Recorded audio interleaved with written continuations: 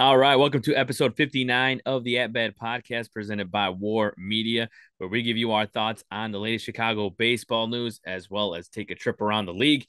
I am Saul Rodriguez along with my co-host Miles Porter, as well as joined by our WARR colleagues and Chris Pennant and Gabriel Wilkins. Uh, Miles, how are we doing today, man?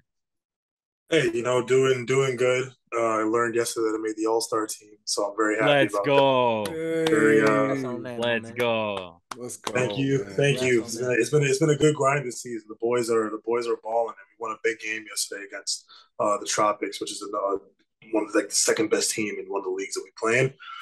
Very competitive game. Lots of lots of back and forth between the umpires and teams, and uh, so no, it was it's great. And so uh, the All Star game is at the Milwaukee Milkman Stadium, and uh, I'm excited. I'm excited. I'm excited to be Uh, there. Hell I, yeah. got a, I got a migraine today, by the way, so I'm a little bit under, I'm a little bit under the weather. But aside from that, I feel great. hey, well, we appreciate you coming out regardless of that. So hopefully you feel better sometime soon. Uh, I hey, I will say also the Cubs are looking for a third baseman. There you go, Miles Porter. You know, they you, You know, know- check check out his LinkedIn. Cubs, you you know what I'm saying? Apply, you know, whatever. But no, anyways, and Anyway, that'll that's awesome, fire. man. Yeah, no, right? Congrats, though, Miles. Uh, Chris, how we doing, man? Trash, bro. Nah. Absolute trash. The only thing saving the only you see, I got off screen. We're gonna This is the only time we're gonna put it on screen. We got the saving grace of Victoria right here. That's about it. That's about it. oh, how about you, Gabe? How we doing, man? man, life is life. Yeah. You know, done dealt with a lot of tough things this month. Just had to recently get myself prepared to lay my uncle to rest. But through it all, man, we still going through it. You know, we we we no matter the weather, man, we're gonna put it together and do great things no matter what. So he lived his life to the fullest. I'm gonna live mine to the fullest and talk about the game I love with y'all, man. Hell yeah, hell yeah, and then may rest in peace, of course, Gabe. And So th- th- we'll we'll make this episode out to to Uncle Wilkins over here. So you know, for sure, Hopefully my uncle doing- John Burns, Yeah, there you man. go. There, John Burns. years of There living, man. That's a blessing. that's awesome, man. All right, so uh, we got a big episode, of course. The trade deadline's coming up. We're recording this on Thursday, July twenty seventh. Uh, so we'll talk all things Cubs, White Sox, as well as some of the deals that have gone on. The White Sox stuff will leak into Major League Baseball as well, because of course that you know that trade implicates a lot of things um, going on. The Giolito's going over to the Angels, but a big episode, of course. Uh, so we'll get right into it. Of course, the the Cubs, uh, you know, they took uh, both games against the White Sox in that crosstown series. Uh, they're 50 and 51, eight and four since the All Star break. Uh, with the red hot Bellinger, red hot, you know, offense in general. Um, and you know, the White Sox are sitting at 41 and 62, three and eight since the All Star break. And before we get into the White Sox, that's going to be the bulk of what we talk about today with that trade that went on. Uh, Miles, what, what what what do you take up? What do you think about the Cubs?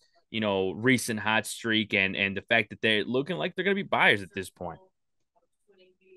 You know, it's it's great. This is a team that you're starting to see them click on all cylinders, and, and, and for the most part, really not much change with this roster aside from having a few guys uh, come up and a few pickups here and there, and, and Mastrobuoni and Tauchman, and the the contributions that, that uh, they've given uh, to this ball club is just uh, incredible. And even with Stroman, who's kind of been getting hit hard lately, this team's still finding ways to win games. So I love it. I really, I really do. It's cool seeing this group come together. I I've been saying it for some time now that the Cubs are about two, three key pieces away from being com- even more competitive. We're a competitive team right now. We're still just missing a little bit of a something. Um, what that something is, I couldn't tell you specifically. I, I love what we've been doing offensively. Cody Bellinger has been out of his absolute right mind, and that has been so fun to watch. Um, so no, it, it- it's great. It's great to, to see like good competitive baseball right now on the north side. We haven't had that in a few years. Um, so you know, uh, I'm, I'm excited where this ball club is going. Yeah, and, and, and you're right. There are missing a few pieces, and hopefully they can add at least a couple uh, of of those. You know, you know before the deadline. Uh, as I Yeah. mentioned, the third baseman. As I mentioned, you know, as we mentioned before on the show, the bullpen needs some work. Um, but you Yeah. know, there's there's a lot to go around, a lot of help, and of course, they're trying to make a postseason spot. I think trying to make a trying to make some noise. Obviously, I think next year is a real year where you're really trying to gun for you know the NL Central to you know you know be competitive the whole season, right? Not just uh, the second half or whatever. Uh, but yeah, no, they're playing really well right now. Uh, like I said before, you know, there's you know Taillon's looking a lot better since the All Star break. He's at three starts, 186 ERA uh, with a .98 WHIP, so he's looking better. Um, but for, guys, from the other side, uh, like I said, you know we'll get to the White Sox, you know, because that's you know with the Giolito trade. Uh, but Chris, well, from the other side, you saw the Cubs these last two games as they uh, took on the White Sox. What do you make of their play, um, as well as if you believe they're buyers or sellers at this point? It's tough for me to say. I know Gene McIntosh, uh, yeah. uh, friend of the friend of the show, br- uh, brilliant Cubs fan. He said I saw him on Facebook said the Cubs should not be sellers, mm-hmm. and it's hard to argue that when you go come out of the All Star break and you win. Was it eight of your eight of your first 13 mm-hmm. Eight of twelve in a week. Yeah. eight of 12 mm-hmm. That seventy five percent. That's yeah. in a in a weak division, not just in a weak division they the Cubs have felt like a pretty quality team. Even you look at their last maybe 20 games or so since they I'm looking at baseball reference right now. Since they lost to the Giants on June 11th by 10. Mm-hmm. They haven't really had that many blowouts and they've mm-hmm. been winning a lot of games by double digit run scores. That's a team that's starting to put it together. I was talking to another Cubs fan, Sean Campbell, shout out to Chirp Radio 1071 and I we were in agreement that the stuff we talked about in the preseason, the Flyers, um, especially Bellinger, have worked out. Hosmer didn't do that much, but Bellinger has proven his worth, and those guys are on one year contracts. And they've developed, continued to develop pitching and position players. So you add on, even if it's not for this season, you make you can make kind of cautious moves to put you in position to really compete, hit the ground running next year. Cubs are in a good spot. No, yeah, definitely. And you mentioned some of the guys that have worked out. Uh, one guy that hasn't, but is hasn't really put a dent in anything. Really, is Mancini. Also, he hasn't worked out, but um, it's still a good a good guy to have in the in in the dugout, a good guy to have in the clubhouse. Um, from what we hear all the time, I think that's one of the reasons why he stayed. Because I think any team could e- easily be like, let's keep Mastrobuoni up here and let's DFA this guy or something, right? Who knows? They could easily do that, but they haven't. I think for a reason. Um, Gabe, from the other side, uh, looking in, what have you thought about the Cubs' uh, recent play? hell of a job. You know, none none else to really say, just, just, but a hell of a job. You know, guys are performing and rising to the occasion at a pivotal time in the season, in which Jed Hoyer a couple weeks ago wasn't willing to publicly ex- express whether or not the Cubs were buyers or sellers. And you talk about the play of Cody Bellinger, whose left-handed bat has been providing a ton of power as of late. But how about Christopher Morel?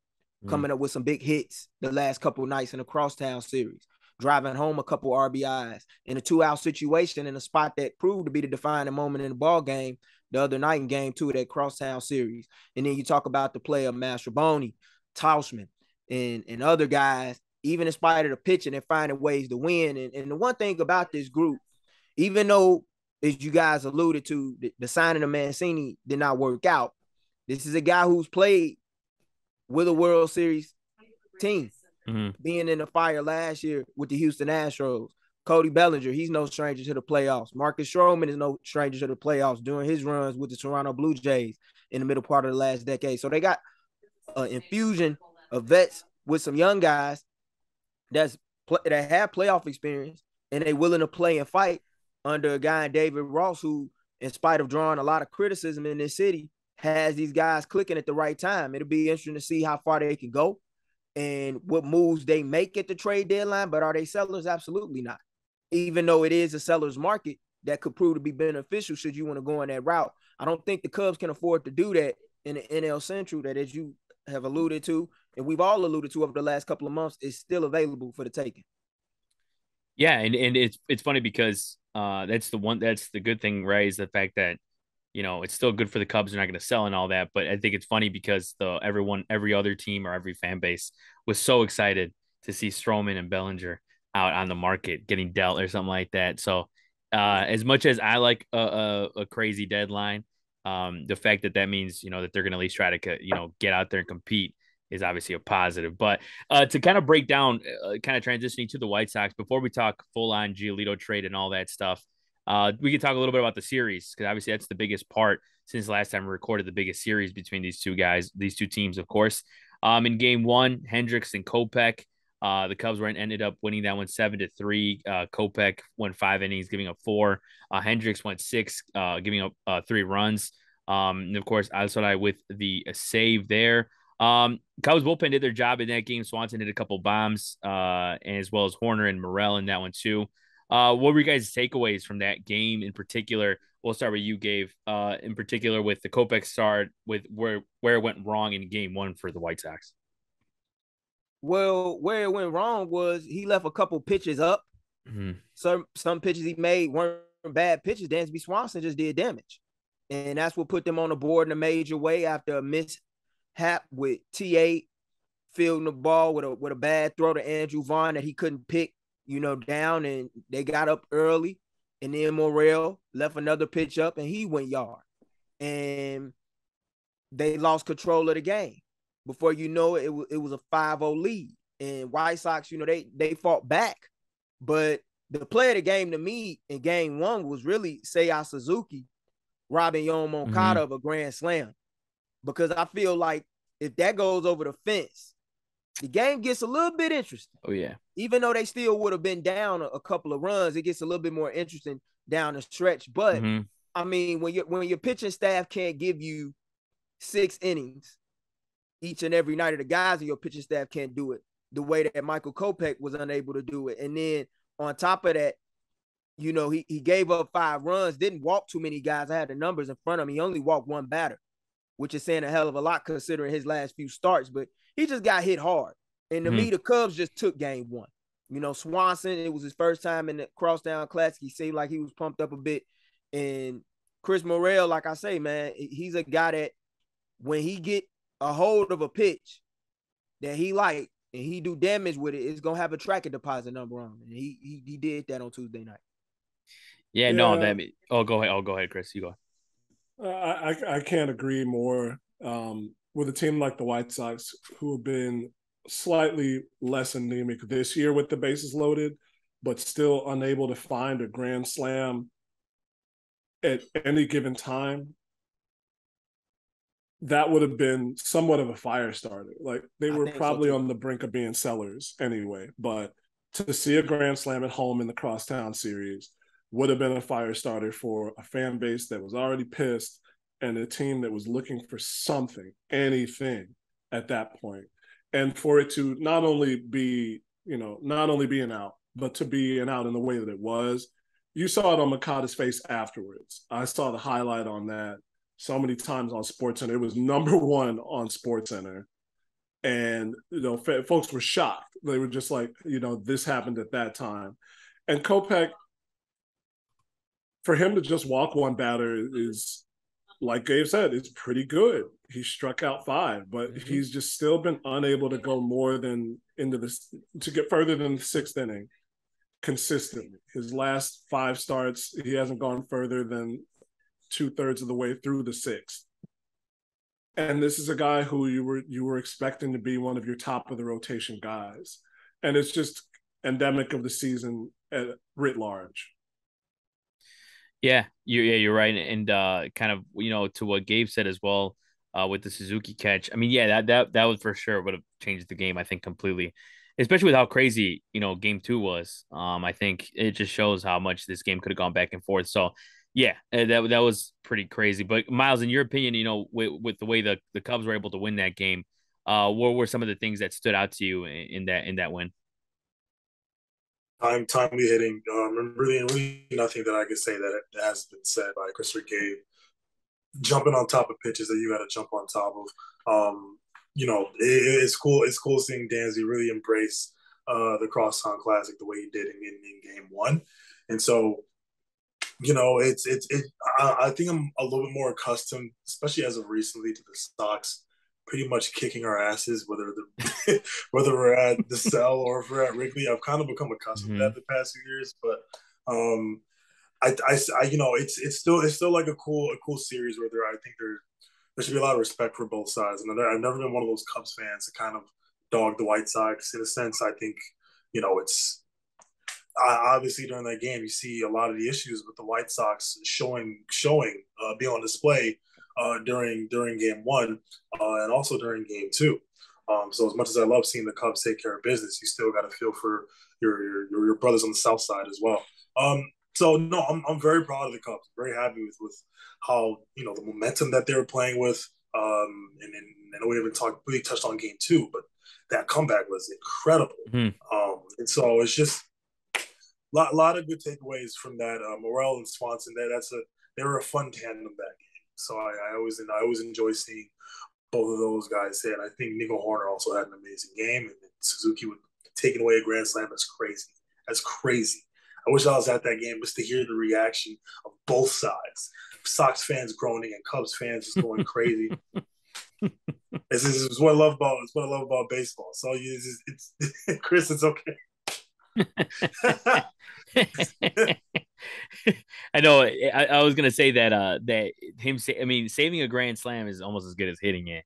I mean, that's just is awesome. So, uh, but no, you, Miles, you're right though. I don't remember the last time the Cubs got the head the crosstown cup. I honestly don't.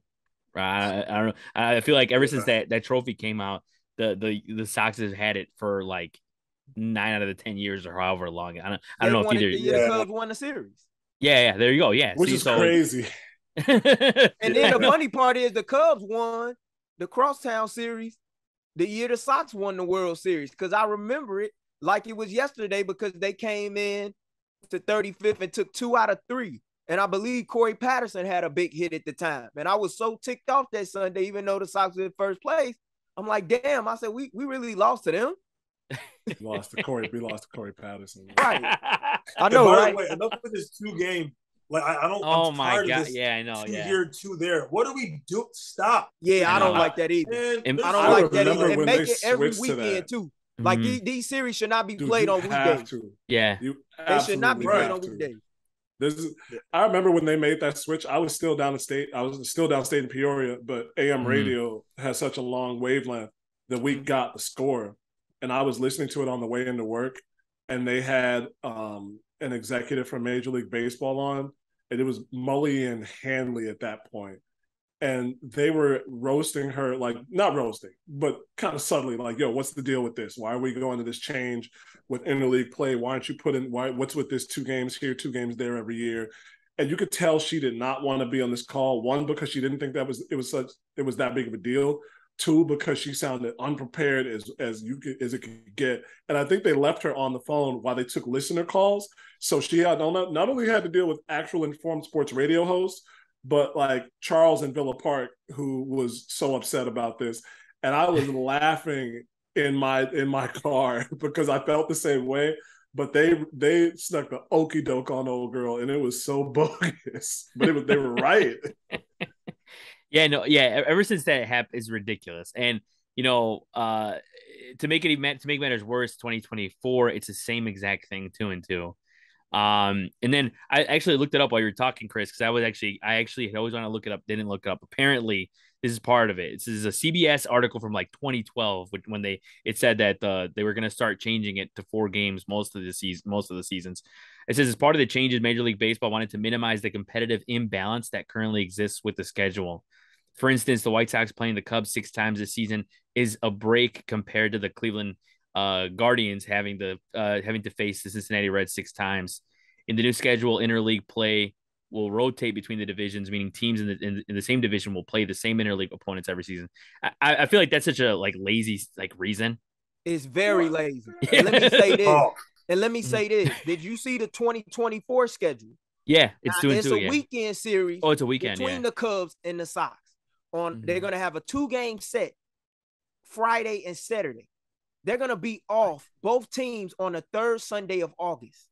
What? I've never, I can't recall a time in my life where I have gone without a Sunday without White Sox baseball because the team was off. Maybe because I didn't watch the game or mm-hmm. I couldn't watch the game, but yeah. like that is so weird to me. Yeah. That you have We're a two so game series played on the weekend on a Friday and Saturday night on the South Side, and then yeah. I can't get a game on Sunday. Like, and, and, then and then this doesn't just affect White Sox Cubs. Mm-hmm. This affects other series such as yeah. Yankees Mets. Mm-hmm. Giants Dodgers. This have been great games. You know, yeah. uh, Giants A's. All... Like it, it this, Rays is what, Marlins this is what brings fans in, in states yeah. and, and regions together.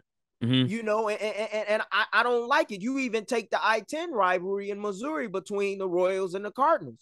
That's mm-hmm. the big deal. You know, it, it, it's it's crazy to me. I, just don't get it, mm-hmm. especially mm-hmm. when you're trying to incorporate interleague more into the current schedule where we're playing every team in the mm-hmm. National League now and up in the American League, so forth. Like, and you're playing your division opponents less. I, I just don't get that. That's something yeah, that needs insipid. Yeah. Yeah, like right. If you're trying to encourage more interleague play, wouldn't you want more like the three game series, you know, for each in each stadium? It didn't make yeah. any sense. Don't you want? Uh, don't you want money? Don't you want yeah, money? Yeah, yeah. especially right? on a Sunday. Yeah, a weekend day. Like people off of work. Most yeah. folks is at least you know. Like mm-hmm. August, competitive August. imbalance in August. a Sunday, they're gonna have a day off on Sunday in August. Ooh, Rob, ooh, Rob. And this Ooh. man just got a con. This man just got a new contract. Yeah, he did. Oh my, which yeah. means everybody is giving him a mandate to do this. Yeah, yeah, it's it's wild. Miles, I knew you were about to punch the camera right now. Uh, the floor is your, the floor so is yours. Oh man, I'm so sick of him, man. yeah, the fact that yeah, don't break your equipment. Don't let Rob, don't let Rob Manfred take your equipment from you. But the modern day game of baseball. Welcome to. If I get signed by the Cubs, I'm paying. He's paying for it. Be like you're gonna be in office for longer. You, are gonna get more money. Might as well uh, pay for your your your iPad or whatever. But yeah, I saw yeah. Manfred got extended to 29. Uh, we all, I mean, nothing needs to be said with Manfred. We all, we, I think we all know how we feel about Rob Manfred. Um, uh, but big pumps down. You know what I'm saying? Only thing, yeah. only great thing I have to say about Rob Manfred, only great thing is that he added a third wild card spot. Yeah, and, and bought the that wild card round. But like outside of that, there are a lot of changes that this game is undergoing that is just weird to me. I'm at a game yeah. with my father before the All Star break, and I'm having to explain to him the new extra innings rule. Mm-hmm. And I'm like, and he's like to me, he said, "Man, that's not baseball to me." Mm-hmm. You know, and I still got an issue with the ghost run. If you're gonna give mm-hmm. me a ghost runner, put him on first base. Make me earn the run.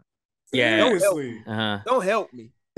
yeah, and and, and, and, bro, and, and then the momentum oh, is going in the regardless of how people look at it if that if the visiting team drives in that run, no matter even if the runner's on second the next inning, they still have the momentum.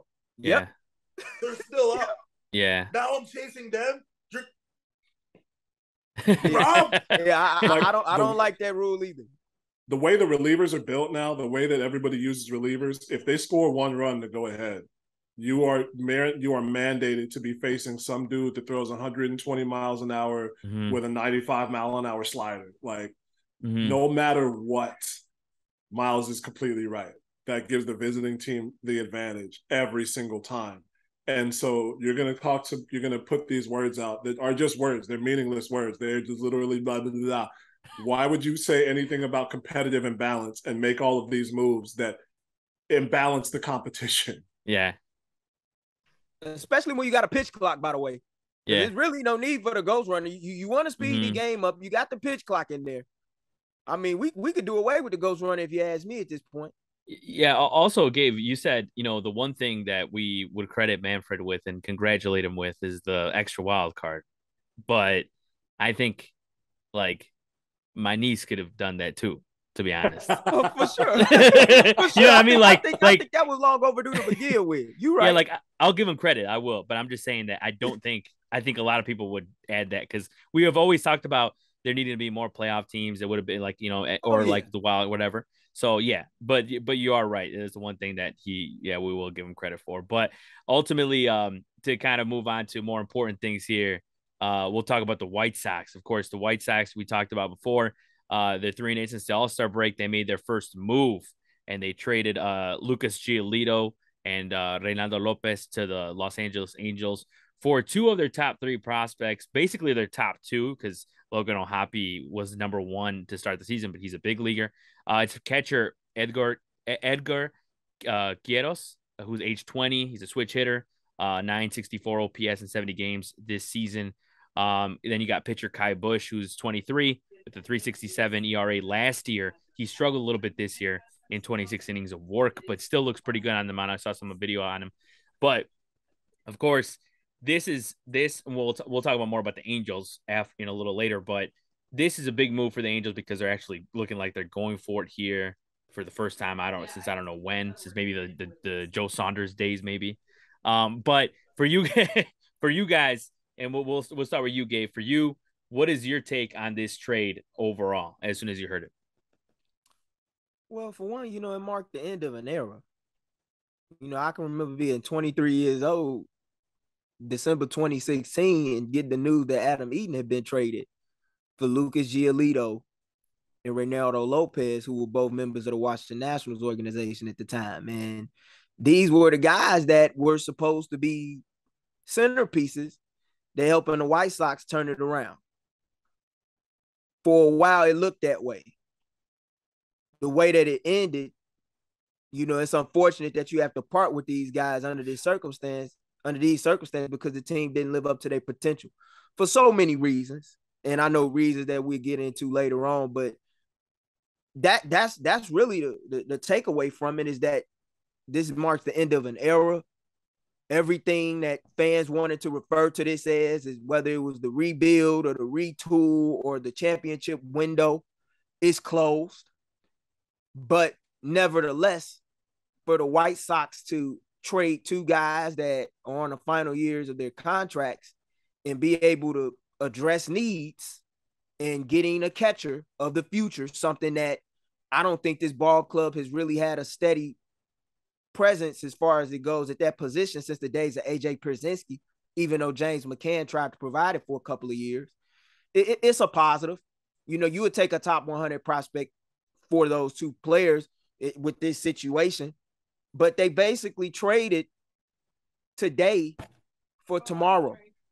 And I don't think White Sox fans will be able to evaluate how this trade looks until about three to five years from now when these guys eventually make their way up to the major league level.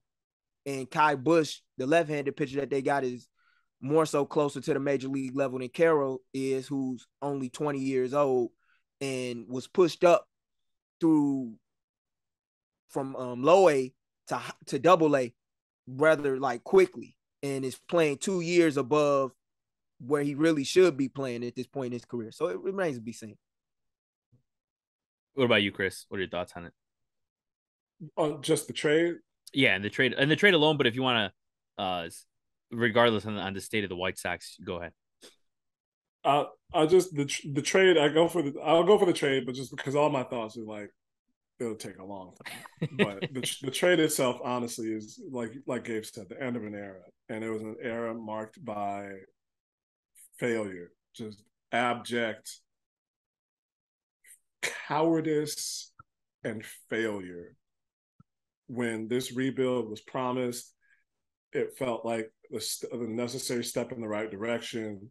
No longer trying to to make do with uh with a two by four when everybody else was using aluminum. You know, no longer just trying to get by. It felt like the organization had decided to say we are going to commit to building a foundation, building resources, and then when the time is right, making a move to be competitive, which is which is what uh, since I've matured as a person, what, which is what I've wanted from this team. Since I have matured as a person, I wanted to be competitive. I wanted something resembling, resembling, because you can't get to where they were, but resembling the Braves of the 1990s, mm-hmm. always being in the thick of the playoff hunt. And this trade, trading one of their guys who was not a franchise guy necessarily, but necessarily, but a flagship guy, one of the first people they brought in when they traded away an everyday headline player. Actually, the same two, same two guys were brought yeah. in in that Adam Eaton deal, went out in this deal. It just marked the. It, it doesn't feel like the beginning of the end. It just feels like the epilogue. Like we've been sitting. It's like this is like 300, where the the they found the hole in the gates, and the Persians have been wiping the Spartans out for hours. And this is my man just sitting there on his knees, and the arrows are coming down. And this is the end of it. It's, about to be already over. All the arrows are all the people that we're going to see go out the door in the next few weeks. it's necessary. That's the one thing I can say. It is necessary because there's no relegation as there should be. And next year, the White Sox will open up play in the top division of ba- professional baseball in this country. So they have to figure out some way to hopefully at least put a a a a sheen on the pretense of being competitive and at least give the impression that they're trying to build for the future. So in that case, it was necessary, but it feels like failure. It smells like failure. It looks like failure. It walks and talks like failure. So I'm pretty sure it's failure. Oh, it is because, I mean, let's be real. 2016, I remember talking with a guy that did the scores keeping it the White Sox games as well as the Bulls games, my man Bob Rosenberg. He was like, man, what the hell are they doing? And I said, I know exactly what they're doing. I said, they're trying to build a winner similar to the way in which not only the Braves in the 90s did it, the way that the Astros did it, the way that the Cubs did it, the way that the Royals did it within the last decade. And that's tanking for a few years to develop or get acquire high draft picks, right, might I add, and not only acquire high draft picks, but hit with those high draft picks and build up a system that consists of several top 100 guys and pray to God that at least three out of 10 of those guys pan out and be superstars while the other several are quality everyday players in the lineup. We saw that happen.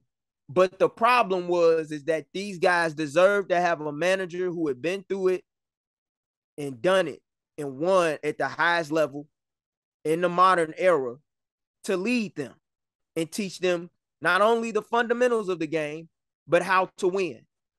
The high point of this rebuild was in 2020 after losing a hard fought three game series against the Oakland A's and Jose Abreu winning American League MVP. We knew that Rick Renteria's days were numbered based on how he managed game three of that wild card series. Rick Hahn did a meeting with the press through Zoom on Columbus Day, I believe. And he said, We're going to get a manager that has World Series experience and has been the, the postseason on an annual basis. Basis. They did that, but they happened to get a manager who, the last time he had managed, Tim Anderson was a freshman in college. Lucas Giolito yeah. was a senior in high school. I was Too a freshman experience. in college. and I remember this because it was 2011. Same year I graduated out of high school. And I was 18 years old. And even though I have a lot of respect for Tony La Russa and, and what he's accomplished in the game of baseball, he was not the same Tony La Russa that I had grew up with during the early days in the 2000s with the St. Louis Cardinals. He was not even this Tony La Russa that my father had grew up with back in the day in the 80s with the Oakland A's. They needed a manager that didn't just coddle them, but walked with them and put them in the line of fire. And when they didn't perform up to par, even if he didn't call them out publicly, at least had the balls enough to do it privately. They never got that guy. With Rick Renteria, he was their teacher. I think they had a close bond with him. And I appreciate Rick Renteria for doing the job that he did, knowing what was going to come. But they didn't finish it. They also never got the nine figure player to bring Manny Machado into the building on 35th and Shields and not give him the money to come here when he had ties and connections here. That's a problem to hear Bryce Harper talk about how he had his eyes set on Chicago, saw as a little kid the 2005 White Sox squad and how loud the, the, the ballpark was at the time. That's tough. Those were the two guys that you missed out on and that you needed.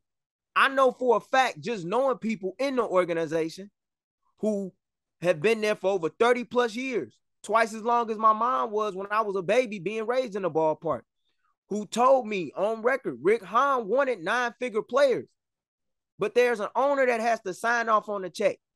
And there are so many times where we as sports fans want to blame players for things, and understandably so, who don't perform up to par.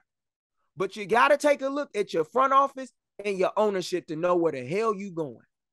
And that's why sometimes when I look at this situation and I assess it, I can't be angry.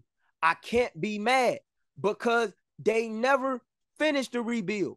And how can I be upset at them when they never finished it? That's like me being upset at somebody building a home that I thought was going to be gorgeous, but they never finished the framework. If they didn't finish the framework, it was it's never going to get built. It is what it is. They got to figure out how they can move on. But Rick Hahn is one of the most blessed men I know because I don't know too many people who have job security like he does.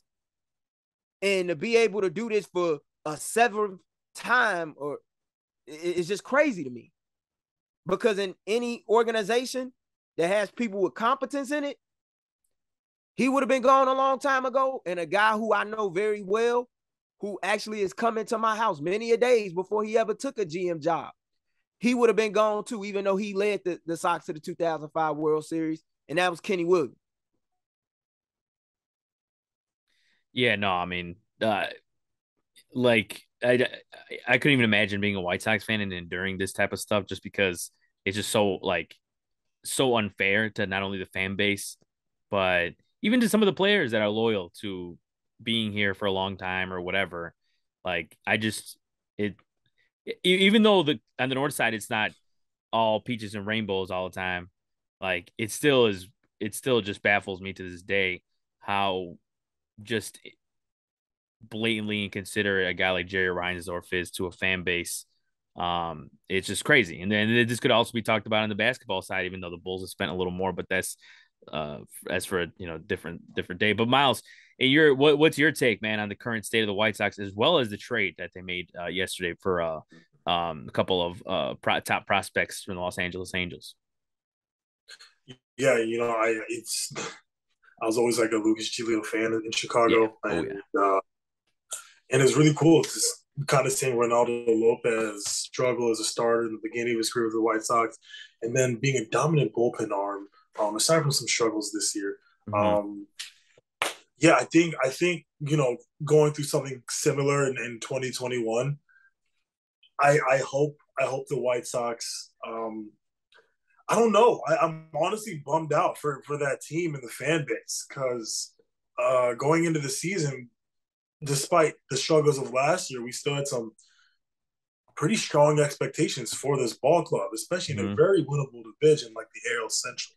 So if there's one thing I'm hoping for the White Sox, if there are a few more moves that that that will come during this time, um, I hope whatever prospects that they gain out of this, um, I hope they treat them right because I know because you know the White Sox aren't known for having the best farm system and taking care of their players, their younger guys, um, as much as other teams do. So I am hoping for the White Sox if we're, you know, if we're, if we're kind of gonna jump ship here, we gotta we gotta do it the right way and I, and I hope they kind of learn from certain mistakes they made in the past.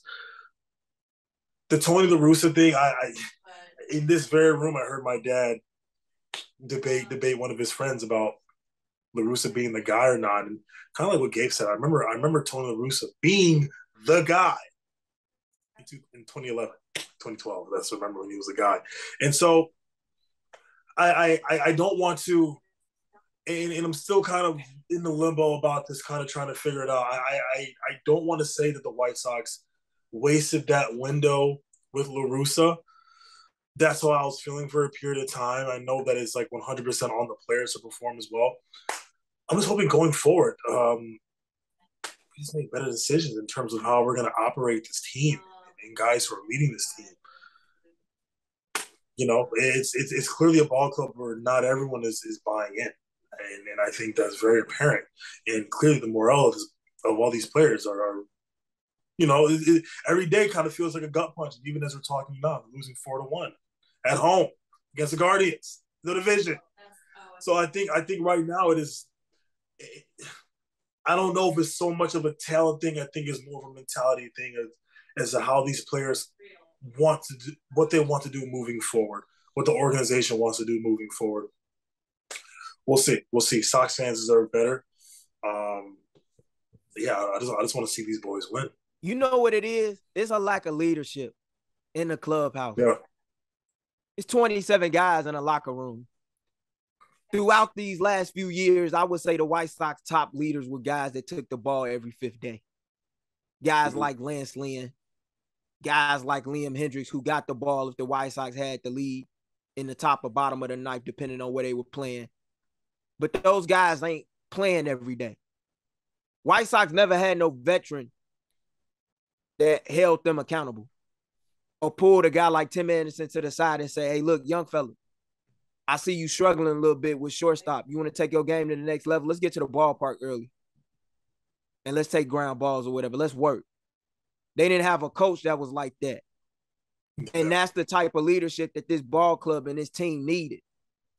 And that's why I think a guy like Manny Machado could have been so helpful. Because I know just watching some of Manny Machado's all-season workouts in Miami or whatnot, that he would have took a dude like Tim Anderson under his wing as he was making his way into all-star status. There's no telling what he could have became or whatever. But some players got to have that mentality before they even come up here. And some of the guys that the White Sox acquired didn't have that mentality. They had to learn it. Luis Robert Jr. is one of those guys. I think he's just not learning how damn great he can be as a baseball player. And he's coming to the ballpark every day like, you know what? I can't waste this opportunity because I got so much God given talent and God given ability to do this thing at the highest level. Some guys have never every we, we tell these guys how great they are when they prospects, and, and it's true in some cases. But we also got to tell these guys how important it is to work. And we got to be real with some of these fans too. I love White Sox fans, but it is a damn privilege to watch championship teams. And we have been blessed to watch a lot of championship teams in Chicago. And Jerry Reinsdorf needs to understand that it's not only just a privilege for fans to watch, it's a privilege to have one and be able to put your money where your mouth is. He said he wanted to win one seven years ago. He wanted to win another one. He ain't acting like it. And I'm at the point now where it's like, don't tell me what you want to do. Show me. And I see. So I'm gonna take a wait and see approach with this team moving forward. So I, I, I got my thoughts together. If you got if you got the time for me to stretch a little bit, the Chicago White Sox most successful period in their entire history came before the Great Depression. Mm-hmm. Social Security was not around. Social Security wasn't necessary when the White Sox were a major player in the American League.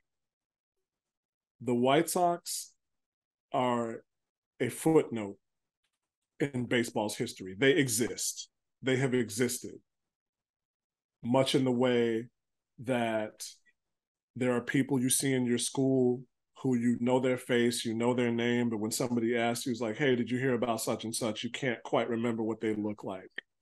That is what the White Sox are in the annals of baseball. They went to the World Series three times in the first 20 years of their existence. They have been there twice since then. Twice the Florida Miami Marlins have gone to the World Series the exact same number of times since they were incorporated in 1993. Yep. 30 years versus versus 83. And there are some things that you can excuse in terms of times were different in terms of what went on. There was no such thing as free agency. There was a reserve clause. People pretty much did what they wanted with their money. Men worked two and three jobs and played baseball as a job, and then they worked at hardware stores as another job. There were two world wars, this, that, and the other, um, all of that. But when you have it, and Gabe, I know that I know from from your from what you said in your, in your upbringing, your upbringing, you've seen this more close in person than I have. So I know that you must I know that you're pissed because what you said about Jerry Reinsdorf is right on the money. This man had a world championship team in his grasp in 1994 and decided a work stoppage was more important. This man had yeah. This this man yeah. had a, a World Series contender in his grasp and decided he needed a cigar smoking buddy. This man intentionally cratered what could have been a great team they were on the cusp of being a great team. And I and I know that that's some of that is dreaming, some of that is, but I was at that ballpark all of those years from 2016 to 2022 and there was a sense in the air that things were changing. It was. When when they took the Astros to the limit in 2019, um, there was a shootout they had at the ballpark, and I think James McCann might have gone deep twice. Like there was real love for this team, there was real love for this players, and that like Hawk Harrelson is a homer, but that Ricky's boys don't quit was real. That was mm-hmm. legitimate. And just like you said, he taught these young men how to be men in this game, and they loved him for that. The next step was getting a guy, people that you've mentioned in the pregame, in the pre-show, AJ Hinch or Alex Cora, guys who had been there and could take that matriculation to the next level. Instead, he hired somebody on his age level so that he could talk in the and share war stories with in the owner's box. There's no excuse for that. I'm tired. We there's no there's no opportunities for us to be the Yankees anymore. That opportunity went out the window in 1938. There's not even an opportunity for us in the same span of time that I mentioned. And I've done book reports on this. I've written papers on this because I took this White Sox fandom to heart because I thought it was a birthright because of the sole fact that I was born south of Madison Street as much as I have lambasted the Cubs for fun, for real, for pride, they went to the World Series so many times through the 30s and the 20s that and it even even late in their history when they went had postseason opportunities, they went, they went, they just came up short. There was something, and so that lovable loser tag stuck because people who were not aged remembered the times where they came close and just fell short. White Sox fans endured seasons of exactly that sound. We have endured that. We are overlooked, overwrought, and over overdone in the most picturesque sense of the word. A patty left on the grill and forgotten. We are burned at the bottom of the pile and I am I I am so close to finish with it with this that it just put it all into perspective. There is no there is no logical reason to continue supporting this team the way that they're going. It does not make reasonable sense. It does not make any rational sense because the same things that happened yesterday are likely to be the same things that happen tomorrow. I forgave not getting Manny Machado and Bryce Harper because I thought we could go forth with what we had and other guys would be on the market. And at some point, Jerry Reinsdorf would turn into Mike Ilitch and say, "It's our time now." I thought that too. I know. I know what you're talking about. Instead, he's he he he is still.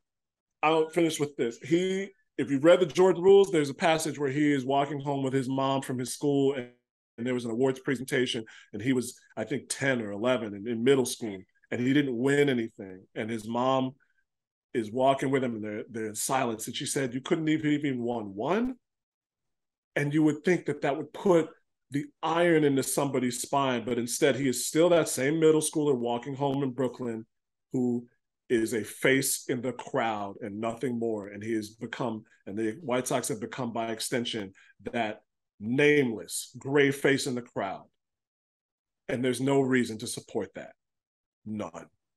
And you know what? I, I can't I can't tell fans not to be frustrated. I can't tell fans as much as I would like to how to fan. Um, it's it's hard for me to talk about a guy like Jerry Reinsdorf because I've sat in the owner's box with this dude. I have things, personal things from this guy. It was things that he did that helped my mother and my mom's career, working in Major League Baseball and so forth. But one thing I do know about Jerry, and one thing my mother has always made clear to me about Jerry is when it come time to spend the money, he don't want to do it. And for what reason that is, I don't understand it. I don't know. It's hard for me as a fan to say I'm not going to go to the ballpark because it's just like the child in me comes out when I'm at that ballpark. The memories that I have attached of being a White Sox fan come back to me at that ballpark. I remember being a kid my mom telling me before I even decided to be a White Sox fan about the 93 AL West Division Championship team and how she had me in the midst of that and how it was a it was an experience to be able to witness people she got to know up close in person, such as a Bo Jackson and a Lance Johnson doing a thing on October stage, you know, and about the 94 White Sox and how it all got ruined by a lockout that, as you alluded to, Chris, Jerry Reinsdorf had a major hand in, in spite of the fact that his team was in a great position to win the World Series, and Frank Thomas was on his way to his second straight AL MVP. You get it back 11 years later, but you never build off of it. And this team has had so many great players come through here over the last, I would say, 10 to 15 years that we have had great moments with, but we don't really have any postseason moments with. I was going to games during the Chris Sale era. I used to go to games every day that man pitched. Every day. And I seen some incredible things, but it baffles me how he's one of the greatest pitchers in the history of this franchise, but he never played in a playoff game in White Sox pinstripes. Same could be said about Jose Abreu until later in his career. And it really hurts me that we didn't win for him. You know, and, and so with Lucas Giolito, and, and you know, we talked about Tim Anderson, who could be on the block. That was the guy that brought me back. Because there's a guy that is a is a black man from the South Side, having memories of seeing Frank Thomas, Ray Durham, not having too many African American players for a stretch, to see him at the ballpark, seeing him come up the music that I listen to, and I listen to on the train going through my day to day grind and hustle. It was like, hey, that's my guy, wearing the number seven. Same number that represent my birth month and everything like that. We only two weeks apart in age. I done met TA. I had engagements with TA. Carlos Rodon, a guy that I used to see around. Like, you know, we we we didn't capitalize, man. And it's unfortunate. It's very unfortunate. And, and, and, it's a fan base that's desperate as hell for a winner. And I would love to see another World Series run, but when that may come, I don't know. I would have loved it even if we had just won the Central three years in a row or four years in a row. That would have been something to, to, to tell stories about because we've never had a stretch where we were that dominant. And the only reason why I'm using the word we in this situation is because I'm a diehard White Sox fan. And I don't really, I'm gonna be real. I don't root for too many Chicago sports teams. The Bears, I follow them only because I'm a Justin Fields fan. The Bulls, yeah, I followed them when I was a kid, but I realized as I got older, I was more of a Michael Jordan fan than a Bulls fan. Blackhawks, yeah, yeah, I like them. And I thought that what they did in the 2010s, the White Sox had a great shot at doing in this decade. And I thought this was going to be the best damn decade in the history of Chicago baseball. Where that is now, eh, I guess we'll never know. I, I, I don't know. But I, I'm, I know one thing. I will continue to keep watching the team, but it's only because of the joy that it brings me. But it's hard, especially at these last couple of days, because I've never seen this team drop games to the Northsiders the way that they did. And, and, and it's so many losses that have been tough. Like when fans say this is the toughest loss all year, man, look, I'm not gonna even trouble you with some of the losses that I've been to this season. I've seen multiple games where this team has had two outs and been an out away from closing a game, only to lose it. And it, and it leaves you at the ballpark for like 30 minutes to an hour, like, what the hell just happened? Did I really just see that? And am I seeing this again? and again and again in this era that was supposed to be the golden era. I just know the one thing I learned through all of this is don't get drunk off of the beginning stages of a new era. Watch it carefully and witness it as it unfolds and then seek to assess when it comes to this team. yeah, I mean, uh, you really can't say it much better than you guys did right there. I mean, that says it all. Uh, yeah, I mean, the, this team has a long way to go, but I will say this: some of the positives here is the fact that they're protecting a guy like Cease and a guy they're protecting a guy like Luis Robert, who were rumored to, you know, be the garnering interest from plenty of teams, um, including the Astros, for example, that supposedly were interested in both. I saw rumors or just rumors. I don't think that obviously the Sox would even consider that. No. But on a lighter note, though, I, and yeah, on a lighter note though, which I thought was hilarious, was that I did see a conversation happen on, on Twitter of these or X, whatever you want to call it nowadays. Uh, uh, that of the you know that Cease and Robert thing that supposedly like uh Andrew or sorry Astros fans were like arguing about whether they wanted to give up Chas in a deal for like Cease and Robert, and I was like Ch- Chas McCormick, yeah, I saw that. and I, I, I was at, at that. I just, I was like, it's enough internet for me today. But that that's what you can do when you're a winner. That's what you can do. yeah, that's yeah, yeah, yeah. You can fair, dream fair. up scenarios like little that. things like team yeah. chemistry and like, uh, well, why would we need this guy yeah. when we bought? We got Chas McCormick. You see what yeah. you did last week? That's what you can do when you are used to winning. Yeah. yeah. That's fair point. Fair point. And it's like one of those things where it's like it's just yeah. I mean, White Sox would be. I think. I, I mean, I know that you guys have said a lot of things about the White Sox that are true, but even then, I think it would still be ridiculous for a team like the White Sox to even consider uh, getting rid of a guy like Luis Robert, who's obviously a superstar of the you know the game right now. So, uh, oh, but go ahead, Gabe. And I want to say this: How in the hell can this team afford to trade Dylan Cease when you already traded Giolito. Lance Lynn is on the block. And you might trade another one of your starting pitchers. Like you, you're gonna go into next season with having to get you're gonna have to acquire at least 40% of a new starting rotation, if not 60%.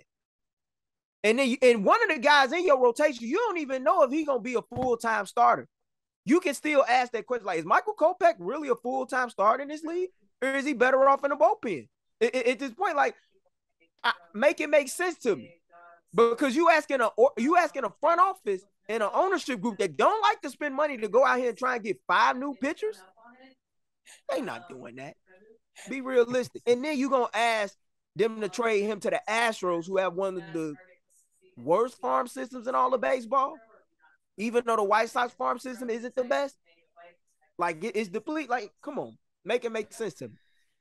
Yeah, I mean, I, I, yeah, I agree with you, Gabe, on there. I mean, it's just one of those things where people just talking and talking. I mean, plenty of people, pl- plenty of people were talking about the Cubs like they they, they had watched them the last couple weeks and saying they're going to sell, they're going to sell, they're going to sell, trading Marcus Stroman eh, tenfold. Uh, and they hadn't watched. Uh, you could tell they hadn't watched. Uh, you know a game of the Cubs in the past like month or so. So I get what you're talking about. It's just it's just it's just one of those things that I had to bring up because it was as baffling as I think I've seen in a while. Sure. Um, but to kind of uh, move on to Major League Baseball and what this kind of means for the Angels now as they're getting Lucas Giolito. Um, to kind of reiterate what you know uh, what Miles said is uh, Lucas was for sure one of my favorite White Sox players.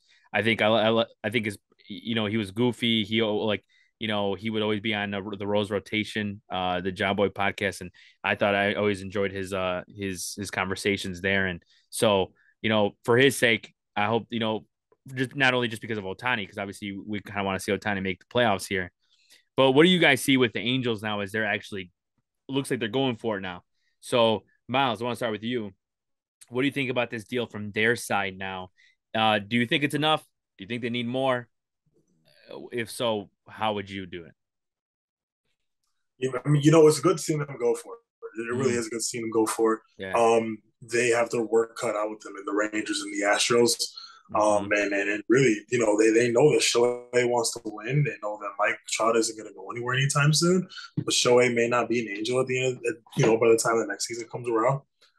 You go for it. You got to go for it now. And, and, and, you know, I, I I think we all want to see Mike Trout and Shohei Ohtani in you know playing ball in October. I think that they have we, we, we enjoy seeing them during the regular season and and for all of us being the diehard baseball fans we are, we know the memories that they can create for us in the postseason.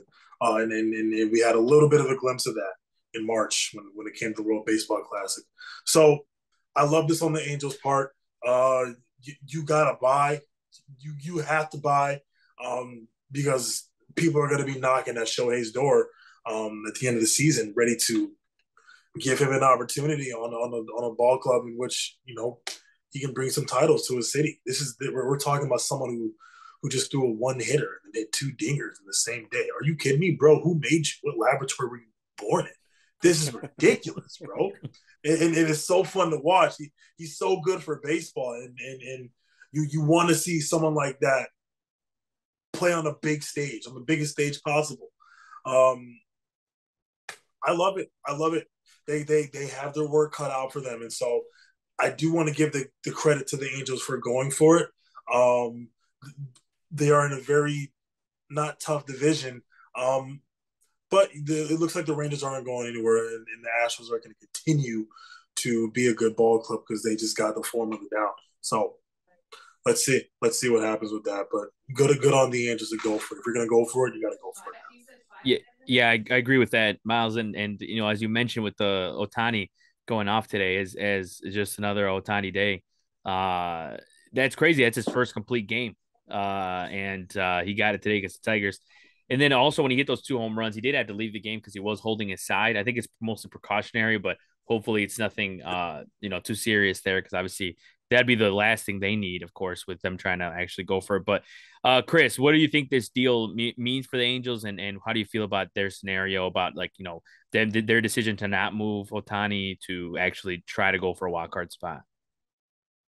I mean, you have to make the playoffs. That's what I said in the season uh, before the season. You have to make the playoffs if you're the mm. Angels if you want to have a chance to keep Shohei Ohtani. It's similar to what the Chicago Sky are facing with Kahleah Copper. You got to make the playoffs if you want to extend her a new deal and have her um, say, "Yeah, we're going to go for it," because there's no reason for him to stick around on a mediocre team when people are going to be throwing mountains of money at him in the offseason. Or this dude is so good, he could he could he could legitimately just go back home and not play baseball again and still be a legendary figure and be and be good.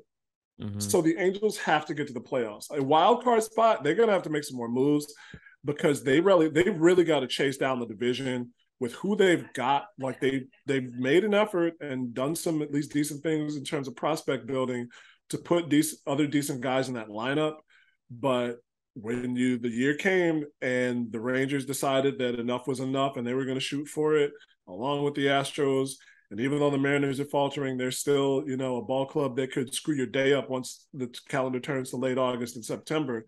They've got to add more in order to fight for the division because even with two wild card spots, three wild card spots, excuse me, that AL East is going to be a scrap and there might not be any more t- places at the table left if you're looking at the bottom seeds in the playoffs.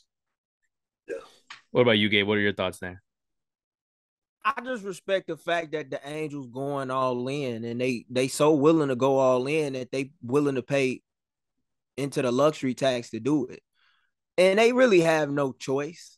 And it makes sense on an array of levels, even from a business standpoint, because if Shohei Ohtani continues to keep hitting – the way that he's been hitting, he could possibly break Aaron Judge's single season record for most home runs hit by an American League player in the, in a season. So from a it, it makes sense from a business standpoint on and off the field for them to go for it. But have you guys looked at the schedule that these guys are going to be facing? They got three against Toronto this weekend. Then they open up next week with three on the road against Atlanta.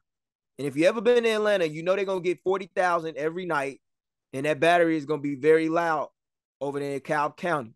And then you got Seattle at home, San Francisco at home in early August, and then you got Houston and Texas. So it's a lot of big games coming up and a lot of big series, and they're gonna need all the help that they could get. Now they also added Jeimer Candelario, the third baseman from Washington, who hopefully mm-hmm. he gives them something. But I hope that injury to Ohtani is not serious because if it is, with this gauntlet of a schedule that's coming up in August that can make or break them, it, it, it's not good.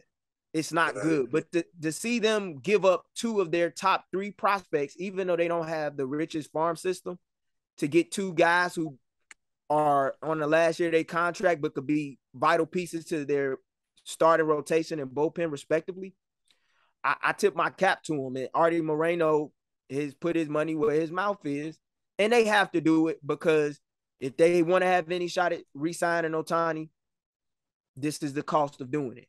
Me personally, I think no matter what happens, Ohtani is as good as gone. Yeah, I, I agree with that. You said and you said that they they're in talks with with uh, the Nats or they got him yet? I said that they I, I believe that they got Jeimer Candelario. I, I, know that they were at least from what I saw being reported. Yeah, I think I think they're just close on getting him. I think they will get okay. him honestly eventually, but I'm I'm on that train with you. Uh, they're gonna get him. But yeah, I think Jon Heyman, I think as as soon as like 10 hours ago said that uh, yeah, you're right. I they were close. Yeah, they, yeah. They, they, discussed it. If yeah, they could get him, that would be a huge. Oh, pickup. Oh yeah, no doubt, no doubt. And and and that's one of the. it's funny because it's one of the guys that a lot of people have mentioned with the Cubs for a third baseman. But um, yeah, I mean that that's probably he's probably one of the hottest commodities of this quiet deadline. Um, because even the next deal that we're I was going to ask you guys about, or just in general, what you guys thought about certain deals that have happened over the last couple days, because there hasn't been much, but uh, I agree with you said about the Angels. I mean, they got you know they have no choice but to go for it now. Um, and you know even there's been some some com- or some some rumors, I guess, that have come out too over the last few hours that Ohtani's comfortable in Anaheim and would be willing to stay. Uh, I definitely don't like that uh, whatsoever. I like the loyalty. I like, you know, yeah, yeah, it, yeah. I hope it's not true, but not if he, PR. yeah. yeah. Also, another another thing too is that they talked about today is that besides that part, but I got uh, there were other rumors as well that uh that he didn't really want to move either this in the during the deadline. Like he didn't want to be traded. And then I was kind of like, man, that just sounds like some BS that like uh, a GM tells a reporter to put in put in the headlines because he doesn't want to get beef like you know with the reporters every day. You know, it doesn't want to get, you know what I'm saying? Like, I like, can believe the, not wanting to be traded though in the middle of the season. True, but also talking about having yeah. to get a new apartment, you know, new translator in his case which he needs after you know yeah. building a relationship with the translator of the angels and stuff like it, it's so much that changes and then you don't even know if you're going to stay there after the season because at best like if he did get traded he was only going to be there for like a few months hmm. and then i gotta yeah. see whether or not i'm going to resign with this team or not and if it was a team like tampa bay or you know a, a team like milwaukee or whatever where we know he's not resigning it's like i gotta go here I, I, I, I agree with that. Hideki Matsui. Mm-hmm. It did. Yeah, I, I agree with that. I think the, another thing too is that is like, what do they expect Ohtani to be like? Yeah, I want to leave when he's you know, gonna stay, right? You know what I mean? Like, right. what do you you don't I don't expect him to say otherwise as well. Uh, on the contrary to that, but yeah, no, I think it's it's gonna be. I'm definitely rooting for the Angels at this point. At least, hopefully, they can make some kind of run with him, just because you know, like like we've yep. said, probably I don't, I don't think he's gonna resign with them. So uh yeah. But on the other side of town, the Dodgers actually made probably one of the bigger trades so far as well. Uh, by getting Amed Rosario from the Guardians, and is a guy that you guys have seen plenty of uh, plenty of games with him with the Guardians there.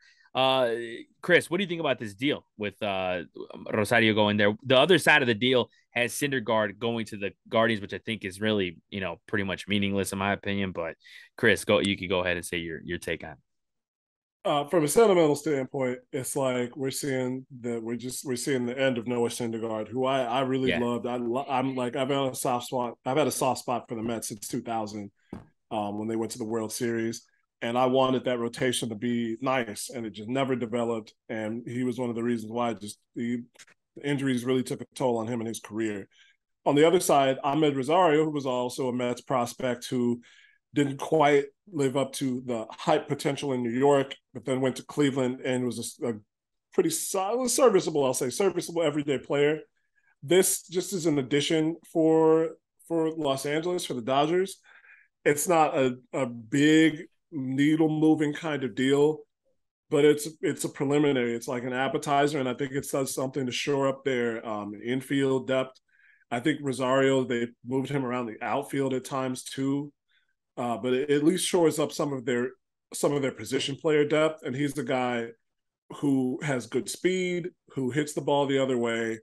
And if you stick him in like the bottom third of your lineup, it maximizes what you get out of that lineup. So it's it's a solid deal for them, if not like a really, really big needle moving kind of deal. What about you, Gabe? What do you think about that deal? Well, it, it makes sense because now with a move like this, you can move Mookie back to his natural position in the mm-hmm. outfield mm. and just let him go to work and, and, do his thing while you got Amed Rosario, a guy who's is, is Chris alluded to, he has a, a bunch of speed on the base paths. He's gonna wreak havoc once he gets on base. Is a very sound and disciplined hitter and keeps a very simple approach at the plate. And when he's driving the ball up the middle of the field, he's usually doing his thing. I I, I don't mind it, and I, I look at it as a nice rental piece for Los Angeles. As far as Cleveland, I don't get the move per se, but I guess what this tells me is is that hey, they that this really Minnesota's division to lose, basically. Mm-hmm. and I think if Shane Bieber wasn't hurt, he oh. might have got moved too. Oh man. You know, and, yeah. and, I'm anxious to see what they do going forward. I, I don't Noah Syndergaard to Cleveland though. It, it, it's I, I, don't understand it for them, but for, for the Dodgers, I totally get it. And they and they're getting a guy that they hope can provide them with some solid defensive players short, which he's known for, and some speed on the base path, who can hit either at the top part of the order if necessary or at the lower part of the order. Yeah, I agree with that. He's he's yeah, he's a good ball player. I think he he does bring some good stuff to the Dodgers, a team that also got Kike Hernandez back on the team, another versatile guy who they love there. So I think those are a couple of additions that are not, you know, a big splash, uh, but they definitely make they're going to make an impact. I'm sure they'll have some big games in October. So, Miles, what do you think about this deal overall as well? You know, I really like it for the Dodgers. I like how the Dodgers are adding depth. I think I think that you know, you know, as, as of a few days ago with with Kike coming back and, and Med, you know, being acquired for this ball club, even even more even more uh, deep. Um, so it's it's great. It's great for the Dodgers.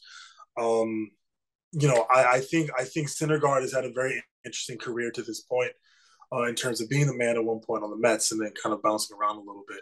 So, in, in terms of the Guardians with with Syndergaard going there, I'm I'm curious. Do we know if he's going to be kind of someone out of the bullpen or is he going to jump into that rotation? That's what I. That's where I'm a little bit confused on, just in terms of I know um, they they are down a few arms in Cleveland, so that's they what I'm curious about. This is yeah. yeah, yeah. So I think I think that's where that's where I'm curious, and and and you know, Syndergaard was moved to the bullpen because he was struggling as a starter. But at this point, do you just move him back into the rotation? Maybe have him as like a back end guy. I don't know. If I'm the Guardians, I would if you can give me at least five, six solid a night, that's all I can. That's I'm fine with that from Norris in the Syndergaard. I'm not asking him to go seven, eight, or even nine. Um, you just got to keep us in the game for for the time that you're in there.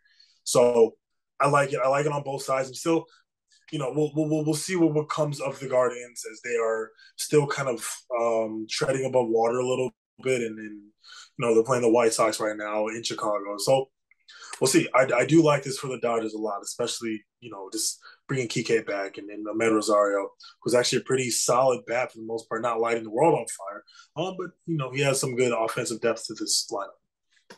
Yeah, actually, Miles, and you mentioned it with the Noah Syndergaard thing. Uh, according to an article by Cleveland.com, they said uh, Terry Francona is, is going to give uh, Noah Syndergaard space to find himself, and he's going to make a start on Monday. Uh, so I guess yeah. So they're gonna like probably try him out in the rotation. If it doesn't work out, open probably is what it sounds like. Um, but yeah, I mean, as much as much as I don't necessarily disagree with what Chris was saying, how it's like the end of Noah Syndergaard. Maybe I, I, hope that you know somehow he ends up like a because I feel like he'd still be a good bull, bullpen piece if it doesn't work out for him in the rotation sure. anymore. Um, yeah. so yeah, hopefully hopefully that works out. Uh, but the one thing I did want to end this show with, of course, is to talk about what do you guys think the biggest splash is going to be, and if it's going to be Nolan Arenado, that actually might happen or might is a possibility, I should say, because uh, came out today. Um, as like I said, recording this on, on Thursday, July 27th, that the Dodgers apparently have inquired on Nolan Arenado, and Nolan Arenado has said that he is open to a deal to the Dodgers, that he wouldn't reject that. Um, so yeah, so, uh, Gabe, let's we'll start with you. Uh, what do you think is gonna be the biggest splash? And if you may, may maybe, I know you've said before on this show that you don't think Arenado's gonna be moved, him or Goldschmidt, but has your stance changed a little bit? Do you think that's possible? If not, who do you think would be the, the biggest splash of this quiet deadline? I know it's kind of a hard question because you really it might not be anybody that honestly, but uh, uh what's your take? I think somebody's gonna get dealt. If okay. it, you know, and, and, even though I said last time we talked, I didn't think Arenado mm-hmm. was touchable. If he's willing to waive his no trade clause and St. Louis gets a package that they like, and I, I could see it. And the reason why I say I could see the Cardinals and Dodgers doing the deals is because the Dodgers have catchers in the MLB pipeline type 100. Mm-hmm. And we know that St. Louis is not pleased with their catcher situation, even after signing Willson Contreras to a five year deal mm-hmm. for over $80 million this past winter. And we saw his name floating in some trade rumors at the top of the week saying that they were willing to move him. So I, I, I could see them doing a deal if they're willing to provide the Cardinals with catching and pitching, which the Dodgers have a ton of in their farm system. It's just a matter of is Arenado willing to waive his no trade clause, which they say he would be, but his agent kind of pressed on that because he said he would also be willing to do it for other teams, not just the Dodgers. But I, I don't know. One team that I would like to see make a big move though, as far as like just talking solely on the trade deadline, is the Baltimore Orioles. I think the time is now to strike while the iron is hot. You got a ton of prospects in the top 100 that can help teams. Some of these guys aren't going to make it with your ball club because you're that stacked, such as a Connor Norby or whatnot. If you can trade those pieces to get a solid ace, you do it. What are your thoughts, Chris? Uh, you think that the Arenado deal is possible? If not, uh, what other guys are you looking to move, or even a team? As Gabe said, the Orioles, of course, would be another team that you're kind of waiting on to make a deal. Um, as good as they are, um, they you kind of you they, I feel like they kind of need like a cherry on top to kind of like solidify their position in the AL. They do because that that's a team that you add to, even though they've got a lot of young prospects in um, that are that are making it mark that are on the team up in the majors now. I think that bringing a guy in to play third would be would be solid for them. I would honestly bring in somebody else on their pitching staff if they could swing it too. But the Angels, or sorry, the Orioles, you have to make your mark to be able to stay above, well above water in that division. There's just too many uh, teams that are always gunning for it with Tampa Bay, with Boston, with New York. And, you know, the Red Sox aren't really in it like that this year, but you can't just stand pat with what you have, even if you have prospects, young guys who are burgeoning stars, you have to continue adding to that, uh, to, to what you have. So, I think bringing in Arenado would be one. It would be a big splash. It would be a far cry from what we saw from Baltimore three, four years ago, and would let again serve notice, like we talked about 30 minutes ago, to their fans that they are willing and ready to put up to make these splash moves in order to stay at the top of that division every single year. You know, sometimes it works, sometimes it doesn't. But just saying that you're willing to make those moves helps you gain stability in a division like the American League East. So I'd be I wouldn't be surprised to see Baltimore do to make a move like that. Texas, I I don't know how much they need to do, but even as good as they're playing, this is the first year with the personnel that they have that they've been this solid, and they could I think do with uh, maybe another another starting pitcher, another reliever, just to show up the depth on them as they make the stretch run. Um, so I think it's those two teams if Seattle had a slightly better record, I would look for them to be to be sellers because I wouldn't want them to lose the momentum that they had over the last two seasons either. But they've been kind of struggling around 500, so I don't look for them to sell, but I don't look for them to buy anything really splashy. Texas yeah, I mean, definitely got to make a move. They yeah. definitely got to make a move. Just watching them in June, they they cost themselves a sweep here in Chicago with their bullpen, and mm. I wouldn't be surprised if the Rangers and the White Sox made a deal as far as relievers go because Texas has a prospect, a, a rich uh, glutton of prospects that they could deal as well if necessary. Yeah, and, and that that's true. And and I think you know, uh, with the Rangers, it, they got Chapman, but I th- still think they need more. And I think that I, I don't yeah. know if they're going to go too hard. I don't see I don't I don't see them necessarily going too hard and getting another piece, which I, am going to be surprised. But I just don't think I think Chapman might have been their biggest thing that they're their biggest deal that they're going to do so far. But uh, I will say this to to to Gabe's credit as well as like it's gonna be really tough for them to hold off the Astros. I don't care what anybody tells me. I mean, the Astros two games back, we saw yeah. how good that series was. I know that the the Rangers blew them out in that last game. Things got testy, but it's to be really hard to hold off those those Astros for a whole couple months uh, to end the season. So yeah, they would probably they definitely need something. Uh, but we'll see how how they add it or how they do it. Uh, for sure. But another thing too is Chris, you mentioned the the Mariners, and yeah, it's kind of funny because we're talking about uh the Cubs being buyers, uh, and the Mariners are almost in that same identical spot when you're looking at them in the um whether it be in the division or whether it be in the wild card. There's just a couple games difference there. They're seven and a half games back in the division. Um, obviously, in the situation, obviously the the the, the teams in their division are, is what differs there, and that's why they don't. I, I guess that's why they, they think they're going to be sellers is because you know they're not going to catch the Rangers or the Astros. But uh, Miles, in in your in your uh, take, what what do you think is going to be the you know the biggest move of the uh, trade deadline, or do you think it's going to be Arenado uh, as moving from the from the Cardinals to the maybe the Dodgers? Yeah, no, it's, it's interesting with with with Arenado, and, and it's like I want to rule that out because of the, the quality player that he is, which really is pretty much like an understatement. Mm-hmm. He's also my favorite player, and so I think you know, it, it, it, in part of it feels like it, it might not be too far fetched with the Cardinals. We've seen them kind of have an interesting mindset this year in, in sort of jumping ship on guys quickly, sending down Jordan Walker because they wanted him to. I I, I don't know. I forgot. I still don't get was. that. Mm-hmm. it, it's just you know it's it's it's an organization that's that is they have very interesting. Um, they're in a very interesting position because they are operating without Yadier Molina for the first time, and you're kind of seeing kind of like a scramble kind of mentality with this with this ball club in terms of moving guys and and, and, and Oliver Marmol kind of having conversations. It's a very weird organization right now. And so I'm wondering, you know, if if Nolan Arenado does get moved to the Dodgers, what does it mean? What does that mean for the rest of that division? Um, the Dodgers are already deep enough as it is, and, and I think they succeed even without Arenado. But you put Arenado in that ball club, it's pretty much the icing on the cake. You, you almost can wrap it up for the most part in that division. So, you know, I'm curious to see what what will happen with that. I'm also curious to see if the Reds are going to continue to kind of build off of their momentum mm-hmm. as well. Mm-hmm. I, I, have a strong eye on, on the Brewers and the Reds at the moment, seeing what moves are they going to make going forward. And we know that Milwaukee just got Carlos Santana. It's a solid move uh, for sure.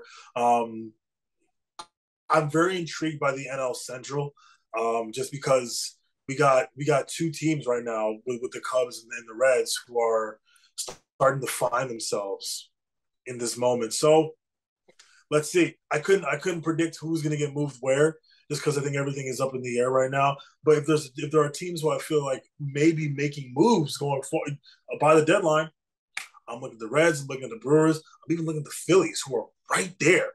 Um, even though in terms of just being competitive, Phillies are a few moves away from from not not exactly catching the Braves, but making even even more noise. You know, they got they got off to kind of a uh, rough start this year, and here they are, 55 and 47. They're 10 games back of the Braves, but man, that's nothing. That's nothing to, to scoff at at all. The Phillies are right there. So, in terms of just looking at teams, those are the teams I have my eye on at the moment. And you know, I'm curious to see what is going to happen going forward. Um, and I'm very intrigued by the NL Central Division specifically. Yeah, and it's funny you you mentioned that because when you mentioned the the Cubs in the division, is they stand you know six games out. Of course, nine o'clock. The game's not over yet. They're probably it's going to be five after you know they or they take you know take down the uh, the Cardinals because nine one right now. But yeah, I mean, as much as they have a, a, case for the division, they're four and a half games out of a wild card spot. So even if they, a lot of people were saying the only way that a central team makes the play or a second playoff team makes it, uh, or excuse me, the only way that a team like the Cubs would make it is if they win the Central. Now I don't know about that. I mean, it's going to be hard to to to take down the Brewers. I, I won't lie about that. Uh, I think that a guy yeah. like Carlos Santana, while look while looking like a very like like uh, a small addition, I'm sure he'll hit two home runs off Justin Steele come September or something. So uh, I'm not, I would be surprised. Uh, but yeah, I mean it's it's gonna be it's gonna be uh, one of the most interesting races for sure in all baseball, seeing how the NL wild card shapes up and how the Central shapes up. But definitely by come Tuesday, uh, you know, we, we, might look at these divisions and see something else because I don't know what kind of additions either of those teams or any of these teams in the Central are going to do. But uh, I think yeah. it's a good uh, place to wrap things up for this edition of the At Bat Baseball podcast. Uh, for Saul Rodriguez, want to thank Miles Porter again. Congratulations, Miles, on your All Star team. Congrats to that. Uh, of course, uh, Chris Pennant. Uh, thanks for coming on. Who, of course, you can see on the CHGO Sky Show as well as he's the co-host of the Skyhook podcast. Gabriel Wilkins, who you've seen on WARR Media's Open Run.